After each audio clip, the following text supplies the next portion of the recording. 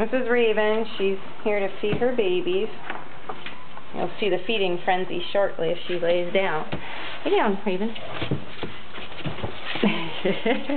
they all come to life now.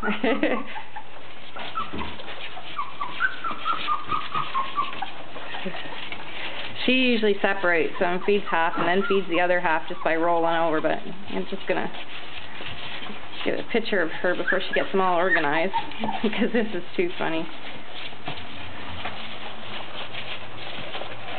And there they all are, poor Raven. Their teeth are starting to come through.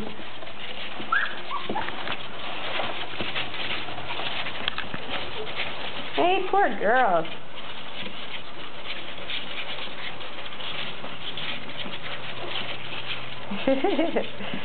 She's such a good mommy. She keeps them so clean. For this many pups, they are spotless.